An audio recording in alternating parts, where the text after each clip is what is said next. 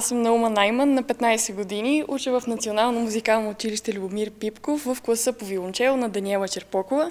Аз ще изпълня Букерини соната Ла мажор, първа и втора част със съпровод на Инес Симеонова.